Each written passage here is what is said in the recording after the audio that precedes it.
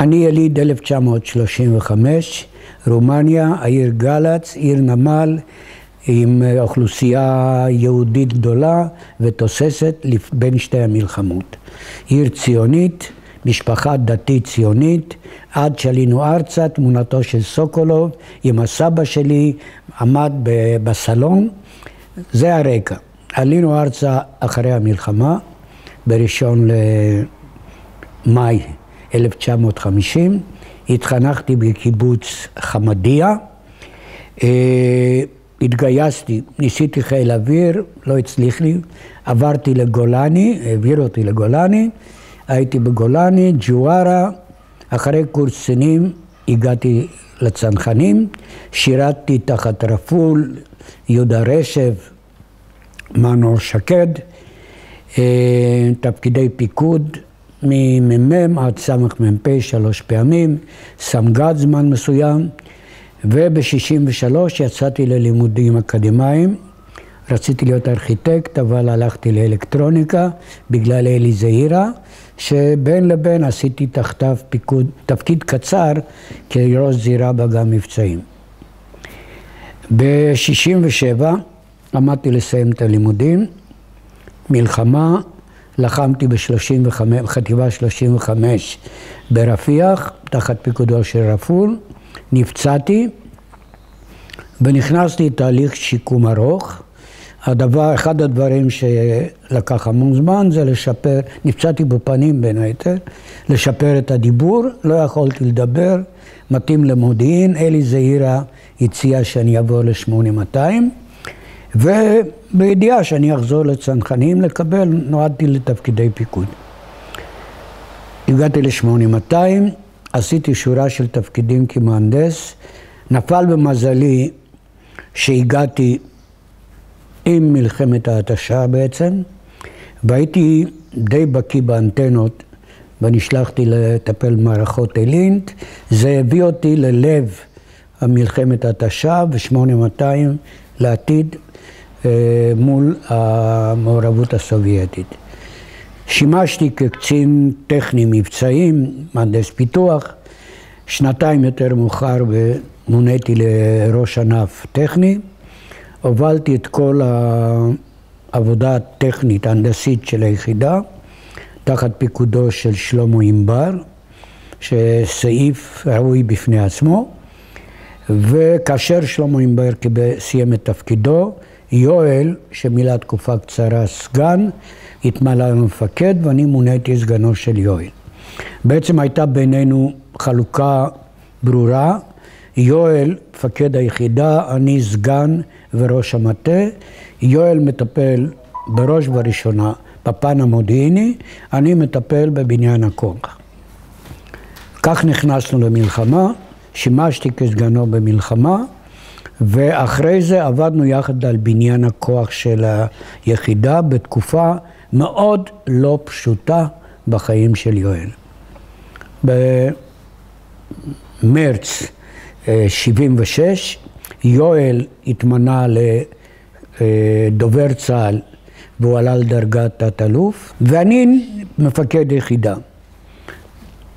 עד אה, אוגוסט 80, באוגוסט 80 יצאתי ללימודים לשנה וחצי, חזרתי, שימשתי כקמנר, סגן ראש אמ"ן וממלא מקום ראש אמ"ן בתקופה קצרה, הייתי סגנם של אה, אמנון שחק ואהוד ברק, פרשתי, אה, הקמנו סטארט-אפ טכנולוגי, ניהלתי אותו, וכעבור מספר שנים יצאתי לעסקים פרטיים והרבה פעילות חברתית, בין היתר אה, כלבי נחייה, אימנתי, הדרכתי, זה סיפור בפני עצמו, והיום אני מפסל, נשוי לנועה, אנחנו יחד 60 שנה, שני, שלושה ילדים, שישה נכדים,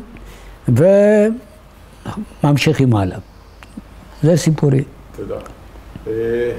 יכול לספר בקצרה על יואל את המסלול שהוא עשה והקטע שאתה היית איתו במיוחד. כן, אני אספר שני דברים.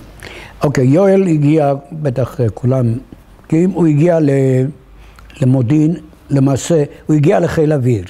בחיל אוויר הוא ביקש להיות בתחומי תקשורת או מודיעין או שניהם, ונשלח ליחידה אז שמ"ם 2, שנת 50, והיא הייתה עדיין ביפו, שם כאילו אמור היה להיות פקיד, בעצם תוך זמן קצר הוא הוכיח את היכולות שלו, עבד מאוד קשה, והתקדם דווקא בתחום המודיעין, במה שנקרא בינה רשתית, כלומר חקר הידיעות. ב-52 הלך לקורס קצינים, חזר מקורס קצינים, המשיך בבית רש, כבר אז כבר היה באיפה שהיום היחידה, בגלילות, ולבקשתו הוא יצא ללימודים. בהתחלה הוא חשב להיות עורך דין, והוא סיפר גם על עצמו למה על כל פנים הוא הבין שאם הוא רוצה להיות קצין במודיעין, הוא חייב לדעת לקרוא את הידיעות במקור, להבין את השפה, את התרבות, את הדת, ואני מוסיף יותר מאוחר גם את השירה של הערבים. אגב, להבין את השירה, אגב, אני לוקח את זה מחיים גורי, אוקיי? אה, והוא הלך ללמוד אוניברסיטה העברית, במזרח תיכון וערבית, השקיע המון, בלה המון בתחום הדת, תרבות ושפה, על מנת למלא את המטענים שלו. תוך כדי זה הוא גם פעל למה שנקרא לגייר תלמידים מצטיינים שיבואו למה שאז היה 515, אפרים לפיד הוא אחד מאלה, אחר הוא ירדור, שהוא בל, בלשן, מתרגם ואיש פענוח צפנים. לימים היה מפקד היחידה, סגני ומפקד היחידה אחריי. שמרנו על רצף פיקוד אז, ומשם הוא חזר למחקר, לתפקיד אה, קצין מחקר במדור מצרים, הוא אפילו מילא מקום כראש מדור מצרים. תקופה מסוימת, ושם הוא התקרב לעניין המחקר. היו לו הרבה טענות לגבי איך חוקרים ככה. צריך להסתכל על אישותו של יואל וגישתו והיכולות האינטלקטואליות שלו כדי להבין לעומק למה. על כל פנים, אחרי שהוא היה במחקר, הוא חזר ליחידה. אגב, אולי עוד נקודה שלדעתי צריך לשים דגש, אני רואה את זה, במלחמת קדש, בעודו במחקר, הוא הושם כראש צוות למה שלימים קראנו גנד, ראש צוות אה, נייד, האזנה ניידת. במקרה שלו הוא היה צמוד ללסקוב, כי היה ראש אוגדה, מפקד אוגדה באותה עת. וזה נתן לו הסתכלות נוספת על המשמעות של חשיבות החוליות הניידות הצמודות למפקדים. מודיעין צמוד למפקד. אה, חזר למחקר, סיים את תפקידו, חזר ל... לש... לא, יצא ללימודים, ואז חזר, אה, חזר ל-8200 אה, ב-61 או 62, לא לפני שלבקשתו ארלה יריב, שכבר היה ראש אמ"ן, הכיר אותו, ונתן לו כמה זמן כדי לחקור את נושא רותם. לא יודע כמה דיברתם על רותם, חשיבות שלו לכל נושא, לכל מה שנקרא ההתראה האסטרטגית והטקטית, כישלון טוטאלי של המודיעין, שממנו הופקו שורה של לקחים, בראש ובראשונה על ידי ארלה יריב. אם נשאל מי בעצם גיבש את הבסיס לתורת התראה, זה היה ארלה יריב. יואל מגיע ליחידה, עוד פעם כראש מדור בית רש, אבל בנוסף ארלה ממנה אותו אה, כחבר קבוע ואף יושב ראש של ועדת התראה. ועדת ההתראה באמ"ן הייתה ועדה שהייתה צריכה לבדוק בתקופה איטית עד כמה המערכת המודיעינית ערוכה לתת התראה מפני מלחמה, גיוון השינויים בזירה. והשינויים היו תכופים מאוד, במיוחד בגלל המעורבות הסובייטית. אנחנו מדברים על מעורבות סובייטית גלוי בכל המקומות, כאילו אחרי ששת הימים, ולא היא. הסובייטים שחתרו לקבל דריסת רגל במרחב הזה של המזרח התיכון, הם עשו פעילויות כבר הרבה לפני זה. בין היתר, מכירת נשק מתקדם גם למצרים וגם לסוריה. בעיקר במצרים, זהו. אה, וכאן, אחד הדברים שבעיניי הם בעלי חשיבות מרכזית בגיבוש אה, עמדתו של יואל, היה הרגע שבו ב-65 מתעורר מחדש בעולם הערבי ובעיקר במצרים עם נאסר שהוא שאף להיות המנהיג של העולם הערבי, מתעורר מחדש הנושא של היכולת הגרעינית שנבנית במדינת ישראל.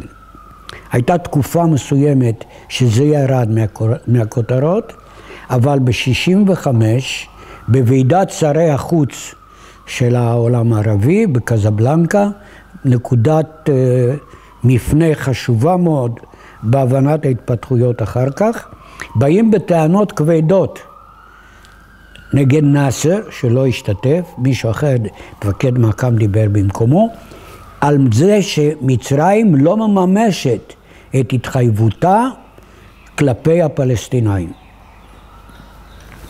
אה, אחרי הוועידה מתפרסם מאמר בעיתון אל-הארם, העיתון קיים עד היום, והיה לו עורך מיתולוגי, אה, חסנין הייקל, כולם מכירים את שמו, והוא היה כותב כל שבוע מאמר מערכת.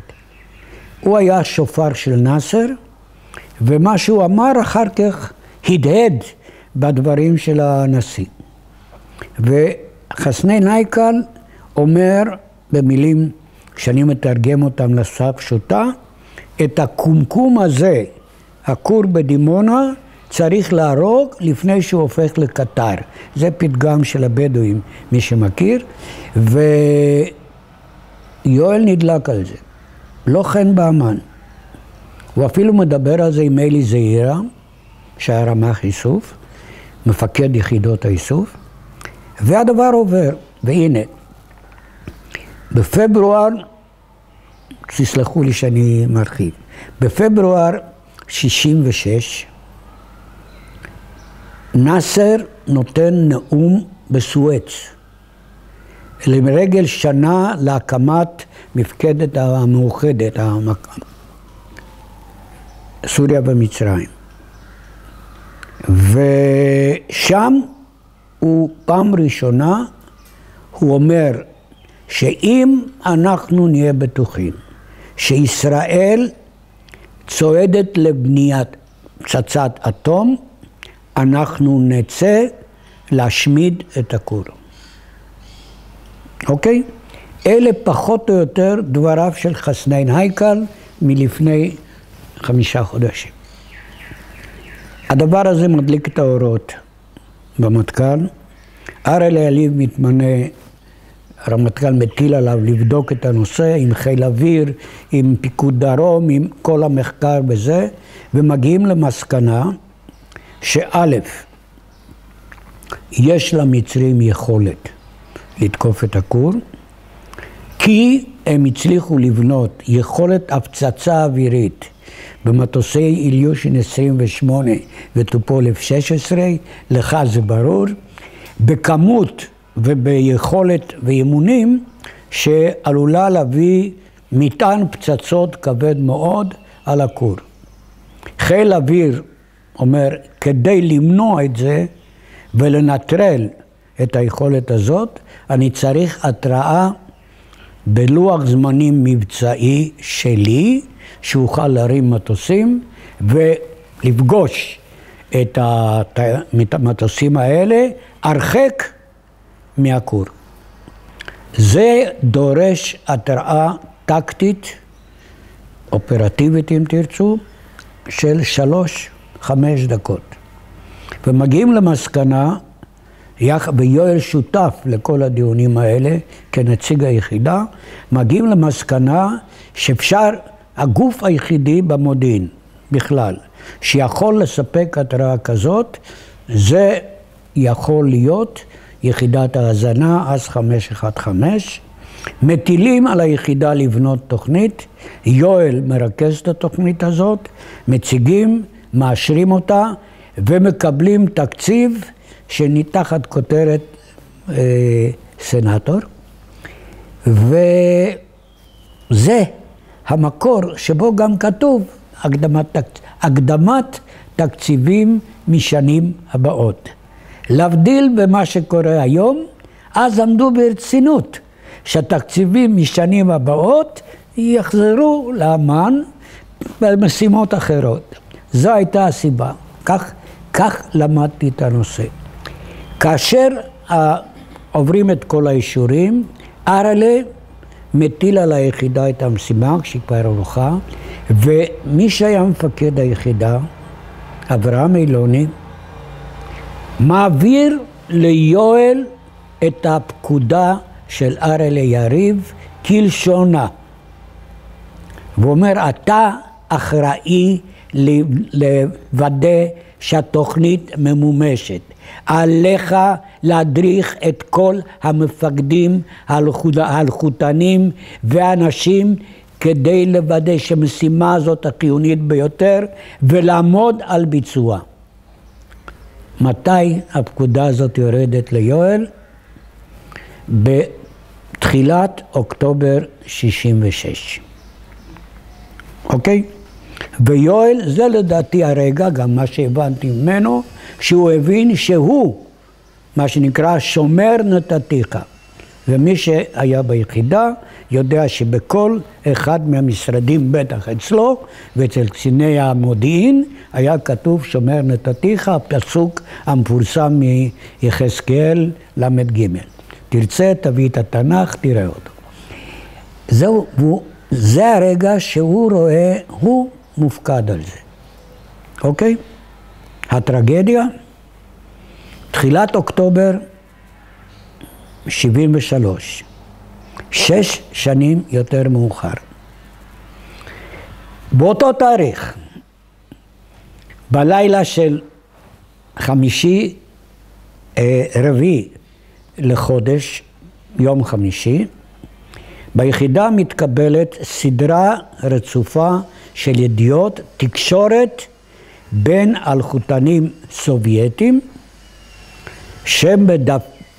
שמזרזים, אוספים נתונים ומזרזים העברת מה שבהתחלה נשמע שלושה, שתיים ושלוש, שתיים ואחד, עד שמישהו מהאלחוטנים שואל לעזאזל, מה זה שתיים ואחד, שתיים וזה? אז הוא אומר לו בשפה רוסחית טהורה, כן? אני לא אחזור על, ה, על המילים, כולנו מכירים אותם. אומר לו, אתה טמבל. זה שתי, נש, שתי נשים ושלושה ילדים. שתי נשים וילד, לא, שני, שני ילדים ואישה, שלושה ילדים ואישה. וזה הופך לאוסף של ידיעות,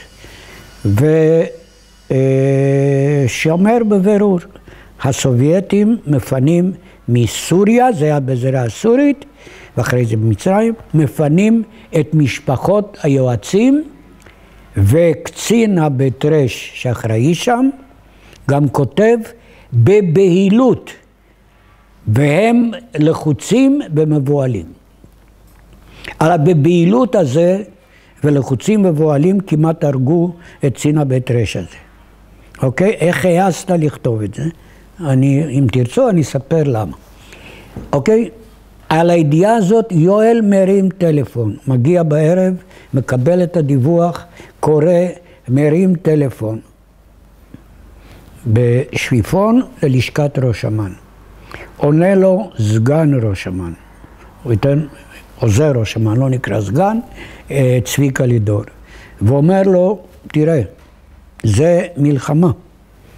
ואז מי שהיה שם גם שמע, וחלקנו היינו שם, אל תבלבל את המוח. כי אם תמשיך לבלבל את המוח, אלי יזרוק אותך. זה שבע שנים אחרי שהוא מקפל צופן את התיכה. אני כתבתי פעם נייר שנקרא חמשת המלכות. זאת אחת מהן. אוקיי? עכשיו נחזור חזרה. אז זה יואל, הוא, עכשיו מהו שהוא פונה? הוא בעצם כאן, הוא מוביל את הארכיטקטורה שאיך יחידת האזנה צריכה להיערך לצורך התראה. וזה קובע את מבנה יחידה 8200 להתראה מאז ועד היום. זה תשובה לשאלתך, מה הייתה תרומתו של יואל להתראה. אוקיי. מה שקורה, וזה אני לא ארחיב יותר, כי אחרת אני אקח אתכם למה שלא רצית. אה, מה שקורה זה שהמערכת הזאת, שקמה להתריע בפני אפשרות התקפה, היא בעצם הופכת למערכת יעילה ומשומנת, שמביאה מנת מודיעין איכותית, שעמדה בבסיס תוכנית מוקד של חיל אוויר. אוקיי? למה, מדוע, מקורות, איך זה התפתח, בסרט אחר. זהו, יואל אה, ב-67' הוא ראש, ראש הבית רש, הוא ביקש אישור ממפקדו אברהם אילוני והוא מנהל את ההאזנה מהמרכז שהוא הקים. ואחרי המלחמה, לא הרבה זמן אחרי המלחמה, הוא מגיש בקשה להתפטר, וכאן על רקע זה שידיעות, או ידיעה ספציפית של היחידה לא הגיעה לחיל הים, או טענה שלא הגיעה לחיל הים, שעשויה הייתה למנוע את האסון של אילת. ועדת חקירה של אה, אה, בר לב לא מצא שזה נכון, והתוצאות הן אחרת לגמרי, לא משנה, אבל יואל, שרואה את עצמו אחראי, ראה את עצמו גם אשם. וזה היה בדמותו של יואל מרכיב חשוב. ואכן, כעבור זמן הוא, לא, הוא רואה שהוא לא, לא נותנים לו סוף חופש ביחידה לפתח את המערכת כמו שצריך ועובר לאיסוף. באיסוף הוא מוצא כסגן של אברהם ארנן.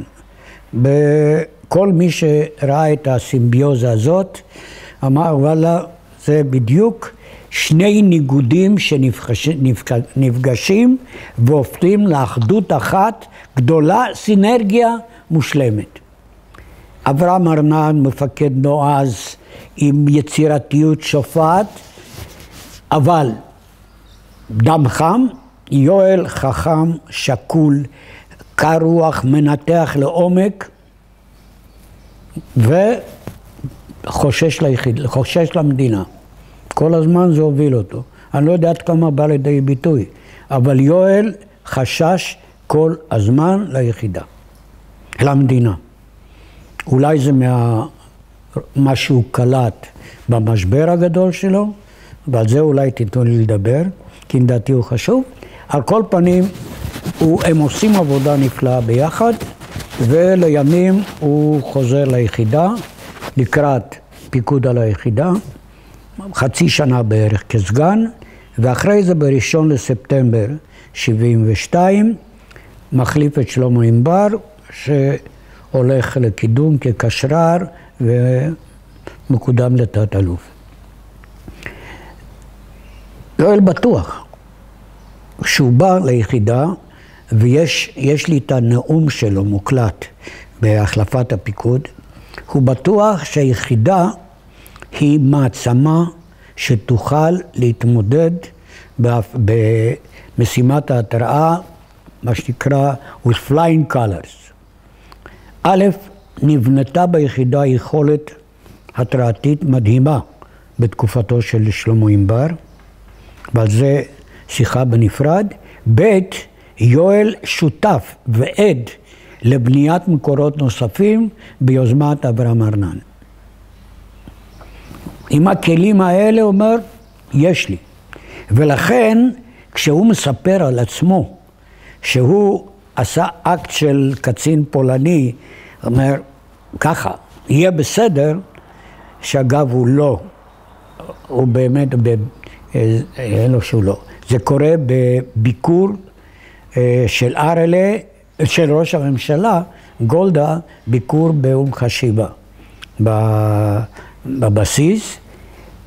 אני, לא זכור לי שזו הייתה מסיבת פרידה מארלה, זכור לי מסיבת הפרידה מארלה, כי אני הייתי מופקד על מתנות, אז אה, בסדר. אבל זה לא משנה. העובדה היא, כן, ששם בביקור הזה, אני זוכר שהוא אמר את זה בתוך הבונקר, שהיא הסתכלה בסקרנות, בעיקר על הבנות שהפעילו את הציוד אלינט, אגב, קרוב לחיל אוויר. זהו. אה, והוא בטוח שיש לנו את הכלים. ועובד כל הזמן, עובד על פיתוח וחידוד נושא התראה. טעות היא לחשוב שכל עבודת היחידה ביואל נעשתה בשבועות או בשבוע האחרון. ההסתכלות הזאת לדעתי היא צרה ולא נכונה. היחידה, כולל האירוע של מאי 73, אה, שהיה אירוע התרעתי, ודווקא היחידה ועמדות שהציגה, והציג גם יואל, היה שאנחנו במצב של לפני מלחמה. השינוי שחל בהערכת המודיעין ושבו אלי זעירא צדק, גרם לסטייה מהמסלול העיקרי לדעתי בהמשך. אה, כך או כך הוא פועל על זה, הוא בוודאי מתחיל להתחדד כאשר אה, יש לנו את ה, מה שנקרא 13 ספטמבר, 13 מיגים, ההיתקלות נקרא לזה, או קרב אווירי בין החיל האוויר לחיל האוויר הסורי באזור רמת הגולן והכנרת, שבה מופלים 13 ביגים בלי מענה. אסד, שהיה פעם מפקד חיל אוויר רותח, היה ברור שהוא חייב לעשות משהו. ולכן התפתחת מהר מאוד הערכת המצב, שהנה הם יעשו משהו.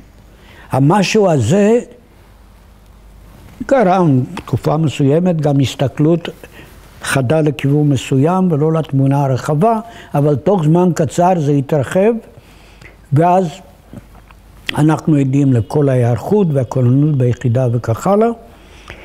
אה, זהו. אתה יכול להגיד מילה על נוהל קיץ-חורף שהיה שם? אה, נוהל קיץ-חורף ודאי.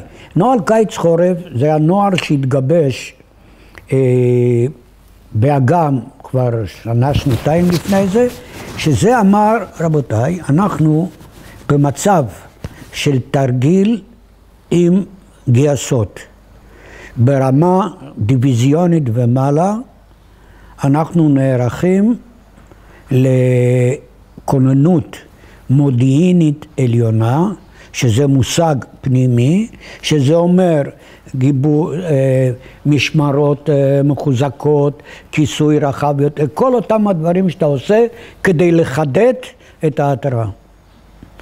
וזה פרי הניתוח של אה, מה שהסובייטים עשו בשעת, בשעתו בפלישה לצ'כיה, שתחת מסווה של תמרון, תרגיל של אה, ברית אה, ורשה, הם קידמו את הכוחות והמשיכו בתנופה. זה הנוהל. זה לא המצאה, זה חייב להתממש. על זה הוא כעס וכותב בספר על זה שקצין האג"ם החדש לא הוציא את הזה. זה דמ... חלק מהאופיות שלו. יואל דרש משמעת, יואל דרש מסירות. סולם הערכים שלו והאינטגריטי היה גבוה מאוד, אבל נאה דרש, נאה קיים. וכאן היה מקרה שבו הוא ציפה שקצין אג"ם כדבר ראשון, לא להמתין לשום דבר, ויוציא את הפקודות בהתאם, וזה לא בוצע, וזה סיפור בפני עצמו. זהו, זה הנוהל. אה, במהלך השבוע היו עליות וירידות בערנות, באמ"ן, פחות השפיע, לדעתי, ביחידה, כי היחידה הייתה ערוכה בהתאם לפקודת רוח קיץ. כלומר, כוננות מודיעינית עליונה, משמרות מוגברים וכך הלאה. אה, מה שכן עלה זה היה כמובן הנושא של התרגיל המצרי. האם הוא באמת הונאה או תרגיל? כי בכמות הידיעות התרגיליות שהיו צפויים, אה, לא הייתה מסה דומה. יואל, שהיה מועסק גם בדברים אחרים, התחדד על הדבר הזה, ואפילו אני זוכר במפורש את אחת הידיעות אה, שהקפיץ את הדבר, זו הייתה ידיעה ביום שלישי, יום רביעי בחודש, שפתאום מקבל פוג' קומנדו, אה, גדוד קומנדו, חטיבת קומנדו, מקבלת פקודה, הודעה שהוא עומד לקבל שיירה ענקית של משאיות עמוסות תחמושת. והדבר הזה מקפיץ את כל הפיוזים, כי אומר, רגע, זה פוץ' קומנדו שנמצא בביר ארידה, ביר ארידה, כמה, באמצע הדרך בין אה, סואץ לשארם א-שייח, בצד המערבי, לא בתוך התרגיל, זה בתוך, בתוך גבולות התרגיל, אין על הידיעה הזאת שום סימון של תרגיל, מה פתאום. ויואל עורך דיון על הידיעה הזאת ועל הדבר הזה, ושולח, ומי שייצג לבקשתו בדיונים במחקר, יוסי זעירה, לו אומר, תראה, בוא, תגיד להם, הידיעה הזאת היא לא תרגילית, זאת ידיעה. מה פתאום הם מקבלים מאות אה, משאיות תחמושת? ויוסי זעירה הולך לדיון אצל אריה שלו. וכשחוזר בלילה יואל שואל אותו, תגיד לי, העלית את זה? אומר כן. מה הם אמרו? לא התייחסו. ומה התוצאה? אומר, סבירות נמוכה. הדבר הזה הקפיץ את הפיוזים ליואל, אבל כאן, ועל זה לא סלח לעצמו אף פעם, הוא לא המשיך, אם הוא לא היה מרוצה, לא המשיך כלפי לעקוף את אה, אריה שלו, ולא הלך לראש אמ"ן, והוא היכה את עצמו לאורך כל הדרך. זהו, הימים האחרים היו כולם ימים של דריכות, כוננות, תגבור כוחות. אה, לא ידענו את התאריך המדויק. לא ידענו. הוציא איזו פקודה לכוננות ורוצה לגייס גם אנשים? לא, לא, לא. בוא, אם אתה רוצה, אני אלך לפרט לך. ברגע שנכנסנו לכוננות הזאת, ו... לא, הרצף הוא אחר, טיפה. א', היה לנו ברקע את הנושא הסורי, אוקיי? האפשרות שאסד יעשה איזשהו מהלך כדי לנקום, הוא לא יכול לשאת את המפלה הזאת. ואז דיברו על אה, מה שנקרא מחטף, על החרמון או בדרום רמת הגולן, כאפשרויות, על משהו. ולכן היינו מאוד מחודדים שם, וצריך היה להגביר שם את הכוחות, וגם גייסנו מילואים קצת ב- לכיוון ההוא, אבל זה קרה עוד לפני ראש שנה. ב', בראשון לחודש, כלומר ביום ראשון, ב-31 לחודש, ביום ראשון אה, מגיע, מגיע אינדיה דווקא לא של 8200, ממקור איכותי, שאומר המצרים פותחים במלחמה ובהמשך זה יהפך למתקפה, אוקיי? אני לא אומר את המילים המדויקות, אבל זה היה רוח הפקודה. הידיעה הזאת מגיעה ב... בבוקר, שלוש בבוקר, מעירים את יואל, יואל מקפיץ את כל המטה, כולנו היינו ב... ביחידה בארבע וחצי בבוקר, אומר אוקיי, זה המצב.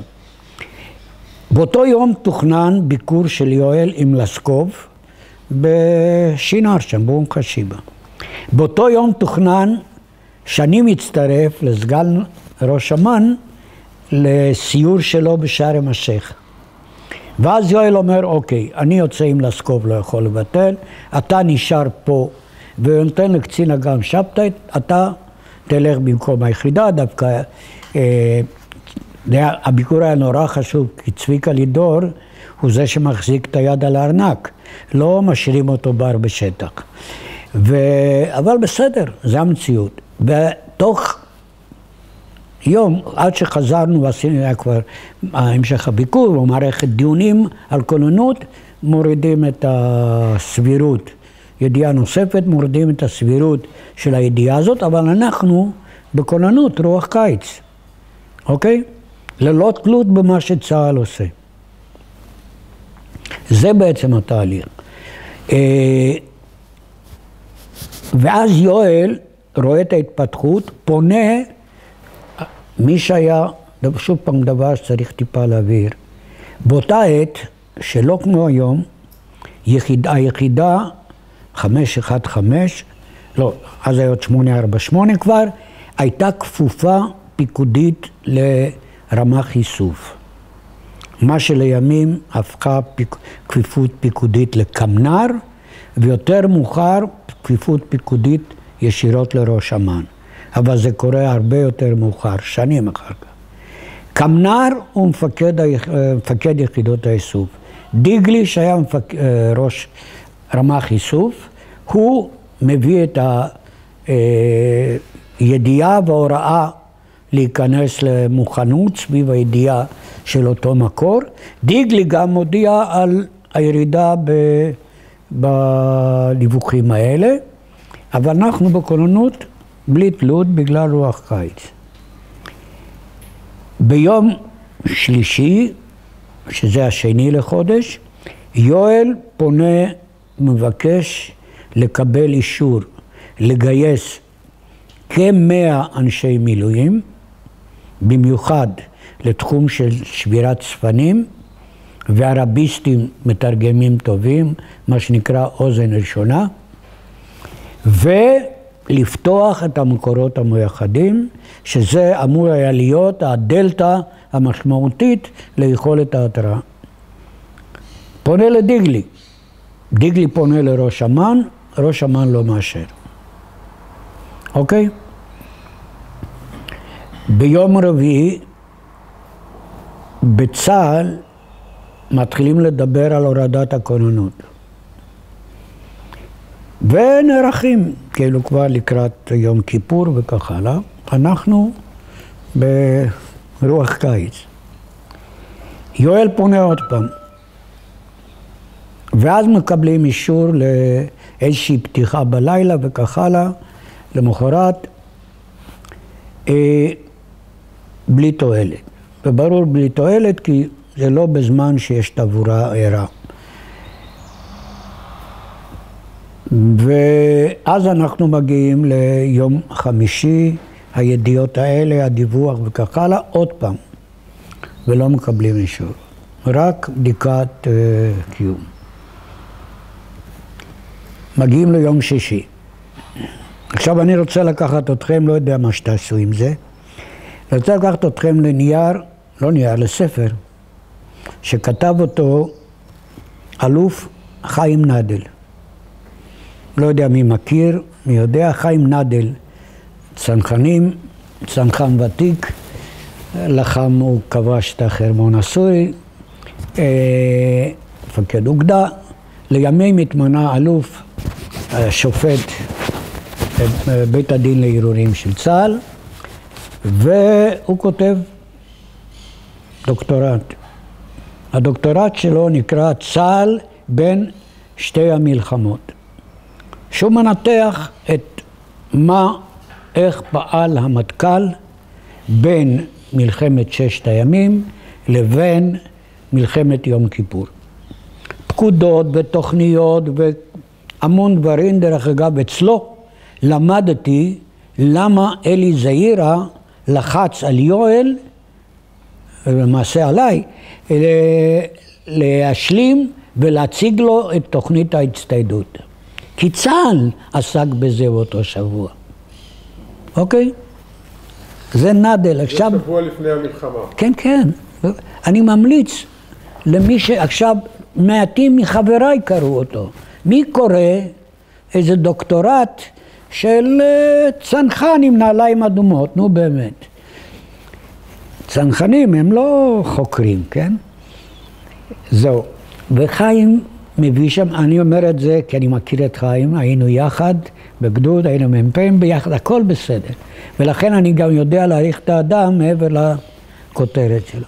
וחיים לוקח סטנוגרמות, מקבל אישור להוציא סטנוגרמות לתקופה הזאת כחומר לדוקטורט שלו. והוא מציג את הסטנוגרמה, בין היתר, של הדיון שמתקיים אצל הרמטכ"ל ביום שישי, החמישי לחודש אוקטובר, לקראת שעה 11, כשהמטכ"ל, המטכ"ל נפגש תמיד ביום שני, לא ביום שישי.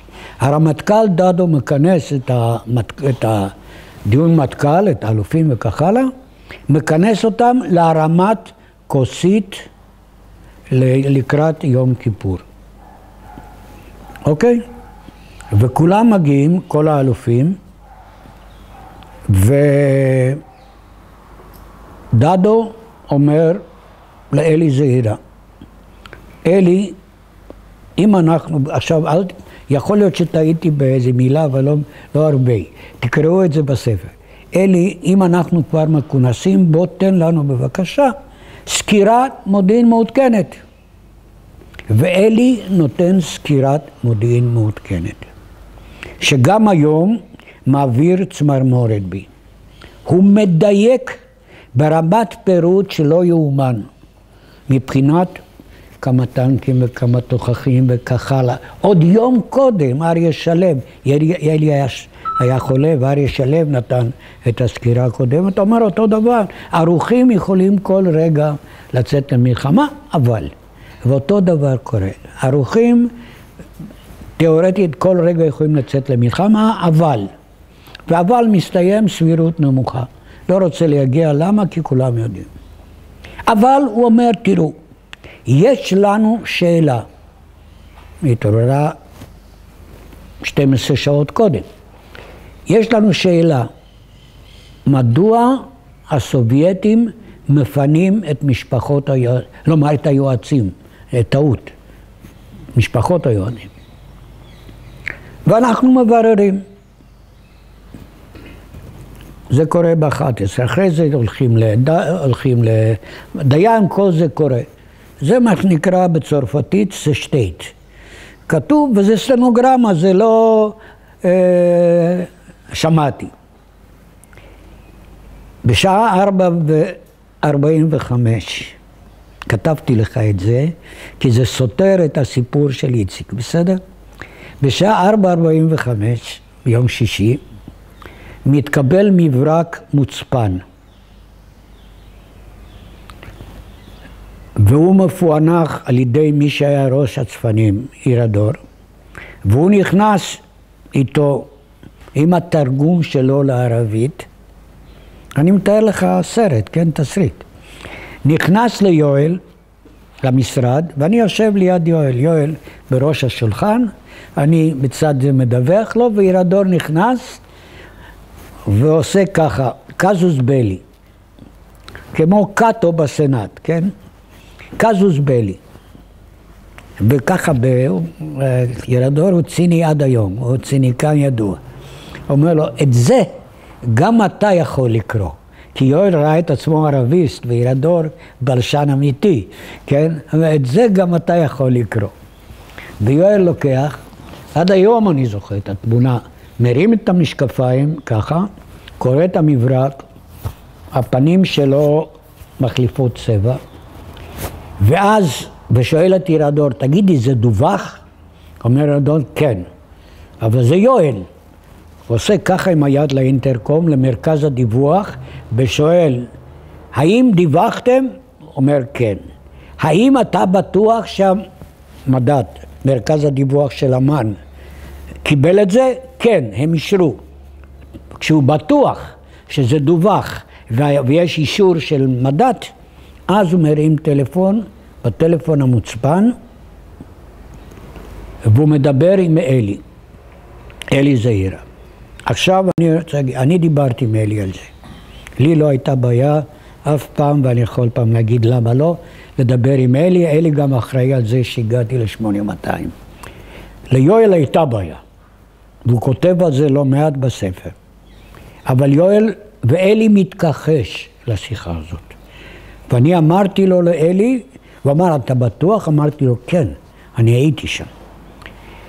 אז הוא מרים טלפון בלבן, הלבן זה מוצפן. אוקיי, אתה הכרת את זה אצלכם בבור. ואומר לאלי, האם קראת את זה? אני מבין שהתשובה היא כן. אז אומר לו יואל, זה מלחמה. פעם ראשונה שאנחנו קוראים את המילה חרב, מלחמה. הכל היה, תרגיע, חרב. זה היחמור, אתה מדבר על היחמור? זה היחמור לימים. אני פשוט אומר את זה כי מדברים על יחמור. מה היה בידיעה?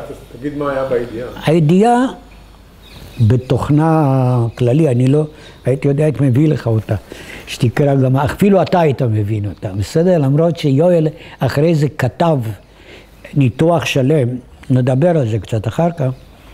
אה, הידיעה הייתה משגריר עיראק במוסקבה, שאומר ממקורות סובייטים, הסובייטים אה, החלו אה, פינוי אה, יועצים ומשפחות היועצים מסוריה ומצרים, כי עומדת לפרוץ מלחמה, חרב עם ישראל. אוקיי? זה מה שהוא אומר. וזה משגר, משדרים מרוסיה לעיראק. השגריר משדר הביתה, לעיראק, שהוא במוסקבה. אה, זהו, זה מה שהוא אומר. כלומר, נותן תשובה למה שבבוקר אלי אומר בדיון אצל הרמטכ"ל, אנחנו מבררים למה. אז הנה התשובה שאומרת, הנה למה. הם מפנים כי עומדת לפרוץ מלחמה. עד היום יש לי חבר, זכרו לברכה, עמוס גלבוע. היה לנו דיונים בלי סוף. אם עשינו מספיק, לא עשינו מספיק. אמרתי לארי, הכל הבאתם, אבל לא הבאתם מברק שאומר, ברחל בתך הקטנה, מחר, בשבת, יום כיפור, בשעה שתיים, סוריה ומצרים פותחים במלחמה. לא הבאתם. אמרתי לו, עמוס, כשמישהו יוכל להביא דבר כזה, צריך למחוק את כל ארגוני המודיעין. לא צריך אותם. אין סיכוי שיהיה דבר כזה במציאות של היום. נראה מקרה מדינת ישראל, בסדר? אני לא בטוח שמישהו יכול להגיד לחמאס מתי אנחנו נפתח אש עליהם. אוקיי? תהליך החלטות הוא מורכב, הוא מסובך, כך או כך. זה מה שמגיע, ואומר לאלי, אני לא שמעתי את תשובתו של אלי אה, המלאה, רק שמעתי אל תהיה. יואל פניו נפלו, גם ירדור. אומר, שנינו ראינו את יואל פניו נופלים, שנינו שומעים את הקול של אלי, ואז יואל אה, אומר, אז תן לי לפחות לגייס מאה איש ותן לי לפתוח את המקורות. ואז הוא מקבל תשובה שהיא בעצם מורידה את יואל עוד מדרגה אחת.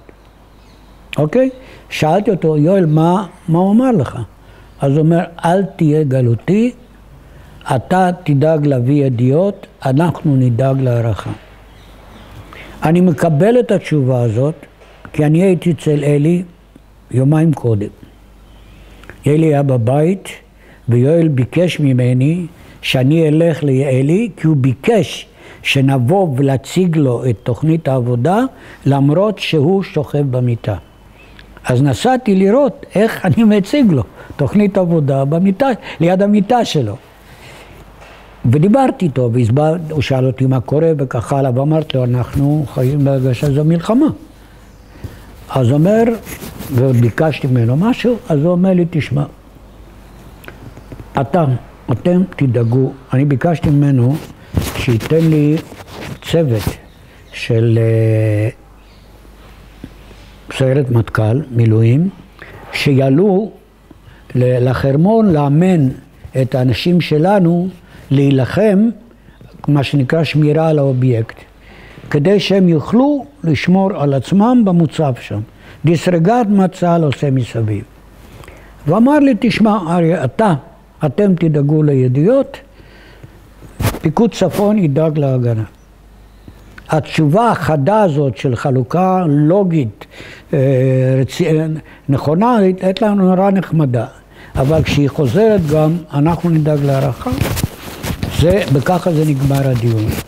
הנכון הוא ששעה יותר מאוחר הוא אישר, הוא אישר לפתוח את המקורות המאוחדים. ללילה, אבל הוא אישר אותם. זהו. לפתוח ולסגור. בתנאי לפתוח ולסגור, אלא אם אה, יניבו, ואז לבקש אישור מחדש. כשהאישור מחדש כבר היה גוש פט, כי אז הם כבר דנו על uh, המברק והדיווח של, של זמיר ביום שבת, בבוקר בארבע וחצי. אז בואו נעבור לחלק של אחרי המלחמה. לא. עוד לא? לא. אני רוצה להגיד, אתם, אני, אה, יש לי לא מעט דברים שאני מתייחס לספר מבחינת דיוקם. אחד הדברים שאני טוען עוד פעם, מדברים, מתי נפלה רוחו? זה היה בשעה שתיים פחות שלוש דקות, בשעון שלנו, לא יודע מה היה בשעון של ולדיווסטוק, שבו קיבלנו דיווח ראשון של מטוסים מצרים תוקפים את המוצבים, ומיד אחרי זה את אום חשיבה. ברגע זה, זה קורה במשרד של יואל, עם כל המטה שהתכנסנו שם, היינו בדיון, עוד פעם המצב, כי תזכור, שעה שתיים לא הייתה ידועה. מה שהמקור, המלאך, אמר, זה by sunset. למה חשבו שסאנסט באוקטובר זה שש לאלוהים פתרונים? לא יודע. כי באוקטובר בשש כבר זה לא סאנסט. השמש כבר מינוס שש מעלות. אבל אה, זהו, כבר דיברו על שתיים, לימים שמעתי הרבה הסברים. למה? על כל פנים עמדנו דרוכים, האם צועק, צועק המלאך או ההשערה או ההלכה הזאת. אז בשתיים פחות כמה דקות קיבלנו אצלנו במשרד את הדיווח הזה, ואחריו את הדיווח על, על התקיפה הסורית, על החרמון. כאן בעיניי נקרא מיתר בליבו של יואל. כל ההתנהגות שלו אחר כך הייתה אחרת. הוא תפקד, הוא היה דרוך, הוא עשה הכל, אבל במתח ועצבים נוראים. כי פתאום הוא ראה שכל מה שהוא בנה, והוא אמר, והתחנן, ולא שמעו לו. זהו. במלחמה תפקד כאריה, ניהל את הזנה, קיבלנו הרבה סמכויות תוך כדי מלחמה, ומיד אחרי המלחמה, למשל, מה שלא היה, ליחידה לא היה סמכות להוציא הערכה. אפילו מה שנקרא הערות בית רש, כלומר, מה קצין בית רש חושב מעבר למה שהוא קרא. מה שהארל די טיפח, אפילו טיפח מאוד, כי הוא מאוד שאף לקבל את זה. אלי זעירה פקד לא להכניס את זה, כדי לא לפגוע בתואר הידיעה הסיגינטית. זה היה הטיעון. בין 15 נובמבר קיבלנו אישור להערכת אה, מחקרית להתראה על בסיס מקורות סיגינט, היחידה שינתה פניה. זהו. אחרי המלחמה נכנסנו למה שנכנסנו. אה, אני, המכה הבאה, לדעתי, הייתה, וקיבלתי הרבה חיזוקים, כשיואל שומע מדדו, שאומר לו, פעם ראשונה שאני רואה את היחמור. למה לא דיווחו לי? יש סיפור שלם מה קרה עם קוף של היחמור, לא נגיע. אני זוכר את זה כי הוא חזר למפקדה ונכנסתי אצלו, הוא היה שבור. כעבור זמן, עוד בדצמבר, הוא נסע לארצות הברית יחד עם מוטי דורון, היינו צריכים אה, לפתוח מחדש אה, אישורי הצטיידות אה, אה, בארצות הברית, הצטיידות, אה, ואתה יודע, הרבה בסיסים נפגעו, עמד לפנינו כבר אפשרות של תהליך מדיני, זוכר שיחות במאה ואחד, הוא נסע לארצות הברית ואז הוא נכנס לדבר עם מוטה, מוטה פרס רשת אה, בטווח של אלף מייל סביב וושינגטון והודיע כל מי שנכנס לרשת הזאת, קצין צה"ל חייב לבוא לדווח לי כי אני המפקד שלו, כנספח צה"ל בוושינגטון. כן, כן, זה היה מוטה. אה, ויואל מתייצב ומדבר איתו ארוכות, מתאר מה קרה ומה הוא ראה וכך הלאה. ויואל בשלב מסוים אומר, ל... ל... מספר למוטה את זה שהוא, מה אמר דדו ולמה הוא לא יכול היה אפילו לעבור מעל הראשם של המפקדים שלו. בסדר? מקסימום. לא יכול היה. ו... ואז אומר לו מוטה, דדו צדק, אתה נכשלת יחד עם כולם. היית צריך להפוך את כל השולחנות. אז זה לא יואל. זה לא האופי שלו, לא הנתונים שלו, לא החינוך שלו. יואל אף פעם לא היה הופך שולחנות. וזה לדעתי הייתה המכה הסופית. משם הוא עבד ממוקד איך לשפר את היחידה. אפילו לפני שסיים תפקידו, הוא הכין הרצאה מאוד מנומקת אה, על היחידה והצרכים שלה בהמשך תפקידה, הרצאה לשר הביטחון, אז היה פרס. פרס דחה את הביקור ויואל, היינו צריכים להתחלף, יואל ביקש ממני לתת לו לתת את ההרצאה ולכן דחינו את החלפת הפיקוד בכמה שבועות עד שפרס הגיע והוא נתן לו את הקרדו שלו. איך הוא רואה ומה צריך לעשות כדי, זה מסמך אסטרטגי רחב אופקים על תפיסת ההתראה הסיגינטית. וכאן, אחרי שעשה את זה, נפרד מהיחידה. הלך לתפקידו כדובר צה"ל, הוא לא כל כך רצה את זה, אבל הוא חשב שזאת תהיה עמדה טובה כדי להתקדם באמ"ן. ואמ"ן לא רצו אותו. הוא הלך להיות עוזר נספח למודיעין בוושינגטון, ועוד בטרם נסע הוא היה בתהליך, במתח נפשי עמוק וקיבל תרופות. אה, אילו היה מתמיד ולוקח את התרופות, הכל היה בסדר. בשעתו דיברתי עם ערן דולב ופרופסור קוטלר שטיפל, אבל הוא לא הקפיד. ולכן היו לו ups and downs. סיים את תפקידו בנספחות, חזר ארצה והיה לו התקף שבר נפשי עמוק. אפילו לא רוצה לתאר אותו, בסדר? לא הייתי על ידו, שמעתי את זה מאנשים שלידו. הדבר הביא את אה, ערן דולב אז קרפר לכפות עליו אשפוז.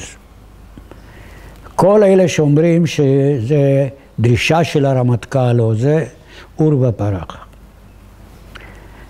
אושפז בבית חולים לפסיכיאטרי, קיבל תרופות קשות, חש נורא, חש שכפו עליו ממש תמונה, אתה יודע, כמו התפוז המכני, כן? ויצא מזה שבור נפש ושבור פיזי. ולקח לו זמן להתאושש. אמנם הוצב אה, כמדריך במכללה, אבל זו הייתה הצבת אה, פוזה. אוקיי, כי שילמו לו משכורת, הוא היה בטיפול. בשלב מסוים הרמטכ"ל רצה שהוא ישתחרר, והוא אה, התנגד ונלחם, ואז הוא פנה, דיבר איתי. אמר, תשמע, אני הייתי כבר סגן של אהוד, אני רוצה להמשיך ולחקור ולנתח ולעשות, זה בער בו. הנושא הזה שלא, אני רוצה לספר על זה, שתכניס פנימות, כי עוד פעם, זה דברים שנערכים. ואהוד הסכים שהוא ימשיך לעסוק בלימוד הזה, אבל מה שהוא הציע, שייקח את הלקחים והניתוח הזה, יישם אותו כחומר לימודי לקורסי קציני מחקר, להפיק מהלקחים של הטעות המודיעינית ביום כיפור. והוא מונה לזה, אה, קיבל מקום בבה"ד 15, הבה"ד של המודיעין, אה, בתואר אה, יועץ ראש אמ"ן למתודולוגיית המודיעין, המצאה שלי, אוקיי? כי אה, צריך היה לתת לזה איזה שם שהוא לא כפוף למפקד הבה"ד. הוא... למי הוא כפוף? אז הוא כפוף ליועץ ראש אמ"ן. אבל הבה"ד היה הבסיס המנהלי שלו, נתן לו את הכל, מבנה, נתן לו שירותי משרד, ויואל עבד במרץ על הדברים האלה. אה, הקים קורס קציני מחקר חריג מבחינת איכותו, הביא מרצים נבחרים מהמחקר מכל מיני מקומות, כולל איציק בן ישראל, ירצה שם.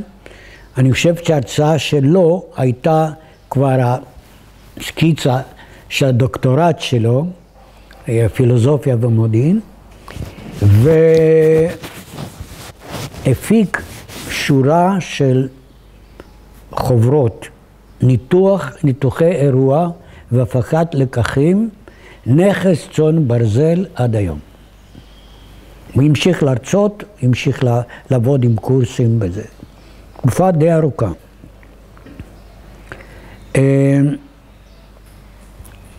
יואל המשיך בתפקידו זה עד, אני חושב, 95.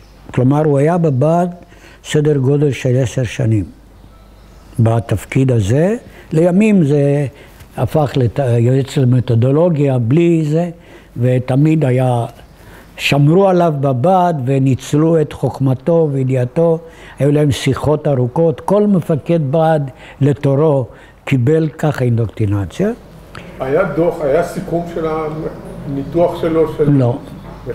אני לא יודע, אני קראתי לא פעם את הקונספירציה שיואל כתב אלף עמודים ושהדבר הזה הודפס בארבעה עותקים ושעותק אחד היה לו בבית וגנבו אותו והיה עותק, איפה שלושת העותקים האחרים? היה לי גישה מלאה גם לארכיון צה"ל, גם לאמ"ן, הכל, אין, לא היה. יש דבר אחד שיכול, אני יכול להעיד מפי יואל שאומר שלא היה. אני העברתי לך אחד המסמכים שהוא הרצאה של יואל, שהוא נותן, הוא כבר אזרח, הוא השתחרר ב-85 והמשיך כאזרח. הוא נותן הרצאה הזאת במלאת 20 שנה למלחמת יום כיפור, בסימפוזיון על המודיעין במלחמת יום כיפור, שמתקיים בבת 15, מי שארגן את זה זה רוני קיטרי, לימים די דובר צה"ל וכך הלאה, מנהל, הייתה אישיות מיוחדת במינה, ובאים מיטב אנשי המודיעין והמפקדים, עשרים שנה אחרי המלחמה. זה כבר אחרי שהוא פרסם את הספר. ושם הוא, טוב, יש לך את זה? לא, אין לך. לי יש אותו פה אם תרצה. הוא פותח ואומר, תשמעו, לכל הקהל הזה, כמה מאות אנשים, אלופים וזה, אומר, תראו, אילו היה עומד לפניכם מסמך של אלף עמודים שמפרט את מה קרה במודיעין, אז היינו יכולים לדבר על משהו. אבל אין לכם מסמך כזה, כי איש לא כתב מסמך כזה. לא במחקר ולא בזה ולא בזה. זאת עדותי על כך, זה מה שיש לי להגיד שלא היה מסמך כזה. יואל רצה לכתוב, אבל לא נתנו לו. לא, לא לשכוח, איציק עוד פעם, הוא אומר, אה, אהוד ברק הטיל עליו לחקור. לא היה ולא נברא, בין היתר, אף ראש אמ"ן. לא אלי זעירה, לא שלמה גזית, לא יהושע שגיא, ובטח לא אהוד ברק, לא היו נותנים לאיש איסוף לחקור את המודיעין ולהקים את כל המתים ומלחמת אחים בתוך אמ"ן. עכשיו אני אחזיר אחורה ותגיד לי מספיק לך. למה אני אומר את זה? ב-15 נובמבר 73, אני מייגע אתכם, תגידו, אני אפסיק.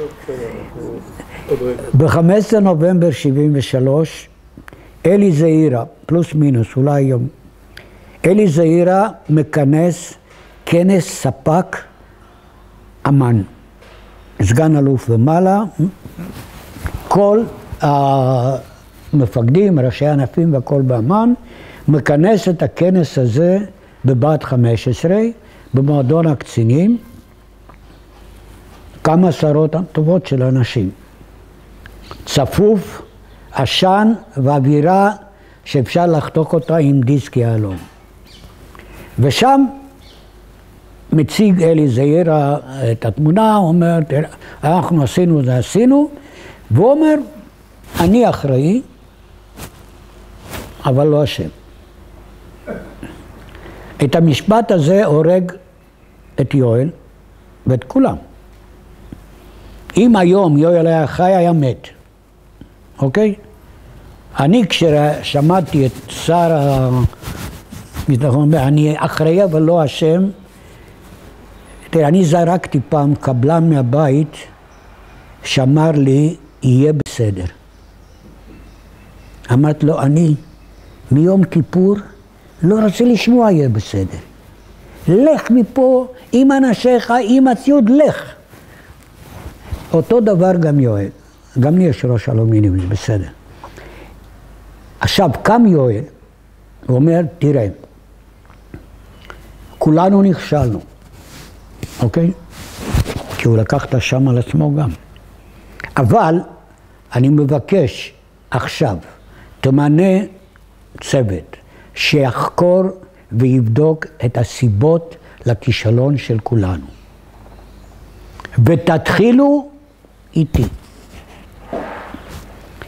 המילה הזאת, ותתחילו איתי, הקפיצה את הפיוזים לכל אנשי המחקר, שראו את עצמם, ובצדק, מואשמים. מה זה ה... אה, איך זה נקרא? סבירות נמוכה. אלי קם ואמר משפט נורא קשה, במשהו בסגנון שכל התנים יכולים לשבת בשקט, עוד אין גוויות בשטח. הוא כבר ידע שוועדת אגרנט עמדו לה תוך ימים למנות את הוועדה. ובזה הוא סתם את הגולל מאז ועד היום על ניתוח וחקירת התהליך שקרה באמ"ן לפני, בתוך מלחמת יום כיפור, שהביא לטעות הקולוסלית. זהו, עד היום זה לא נחקר.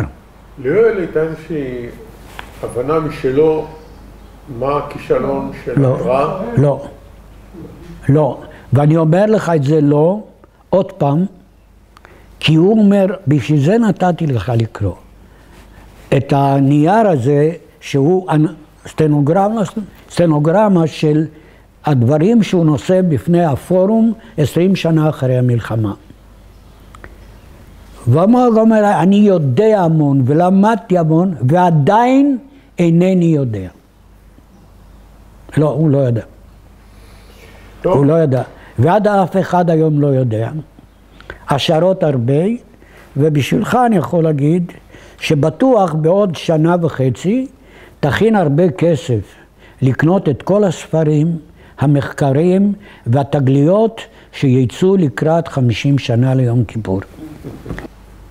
תראה, ש... לא, אתה שאלת אותי ואני די, די דיברתי עם אנשים, כי אני לא פיקדתי, אני לא, הייתי פקוד של יואל כסגן.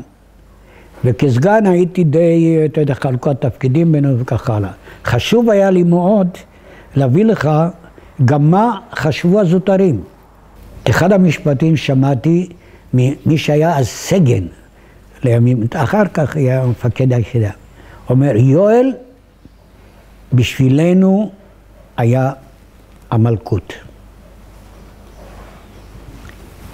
הוא היה הדמות,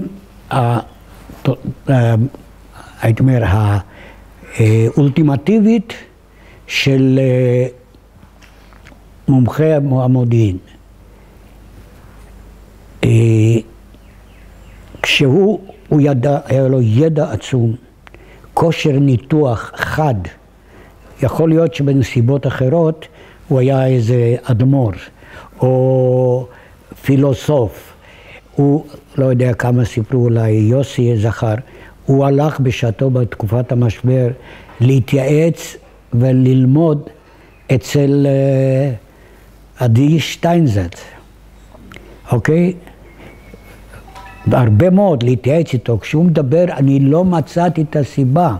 תזכור לאן הוא הלך כשהוא חיפש, עם הרבה אנשים. היה לו יכולת אה, גם התעמקות. כל עד הבור שאינו מאבד, אתה יודע, בור סוד שאינו מאבד טיפה.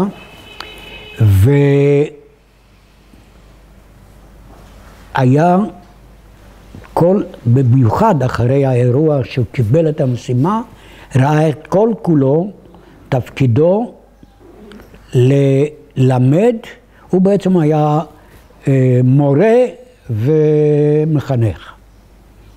ללמד, לחנך גם מודיעין וגם ערכים. יואל היה סמל של אינטגריטי. כשהוא אומר לא, אני לא יכול, הוא לא יכול נפשית להתמודד עם זה שתחת פיקודו יקרה משהו והוא רואה את אחריותו, הוא, הוא תפס את האחריות כמושג טוטאלי בתחום המודיעין, מושג טוטאלי. יואל, אה, היו לו ערכי מוסר גבוהים. הוא לא סבל חוסר משמעת, אפילו היה מתפרץ. הוא לא סבל, יהיה בסדר? לא סבל.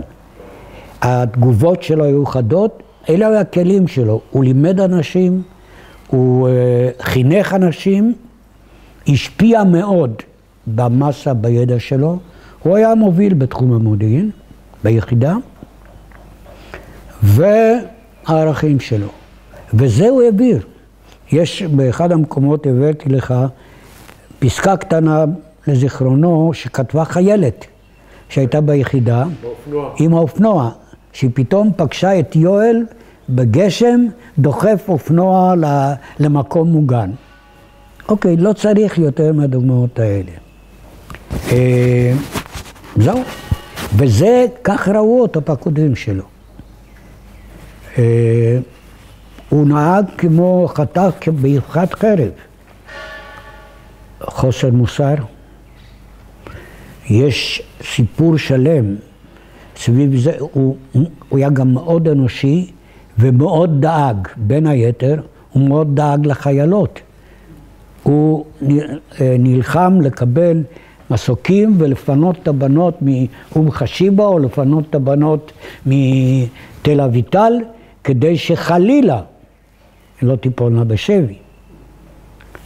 היום הלוחמות הקרקל היום אומרים לך מפה, אבל זה משהו אחר, אנחנו עבדנו חמישים שנה. זהו, יש לי עוד אבל פעם הבאה. תודה רבה.